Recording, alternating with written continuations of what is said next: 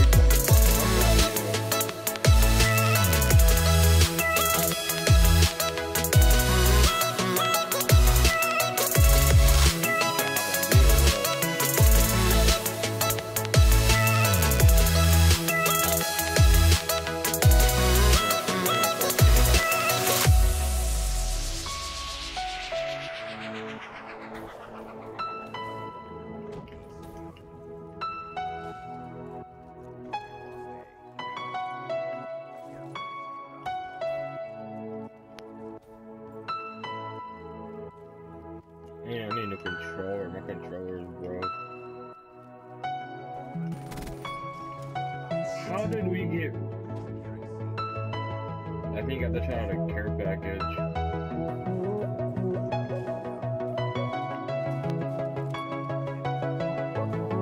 Hell yeah, he did.